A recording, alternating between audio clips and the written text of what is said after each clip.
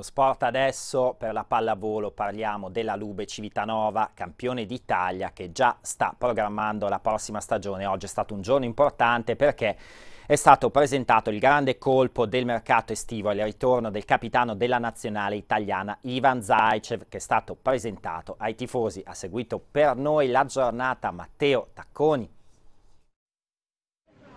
Ciao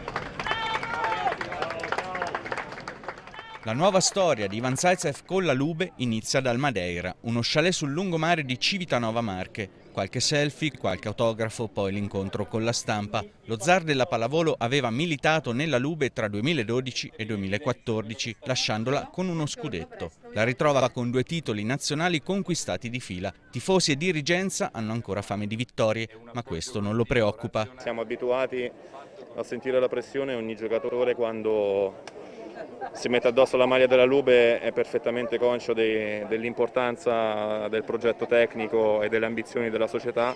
Vieni per vincere, ma se proprio dovessi scegliere tra Coppa Italia, campionato e Champions che non hai mai sollevato, cosa diresti?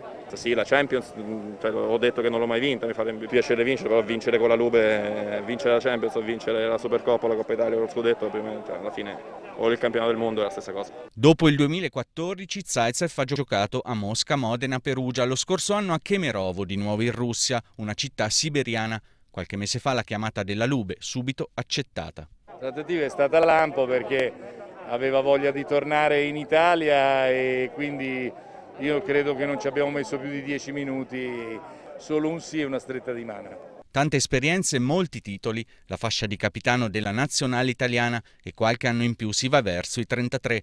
È uno zar maturo quello che torna per la seconda volta sull'Adriatico, non penserà solo a schiacciare. Porto il cercare di, uh, di rendere il tutto molto più, più, semplice e fluido perché dobbiamo far uh, girare bene anche, anche lo spogliatoio e non soltanto il campo.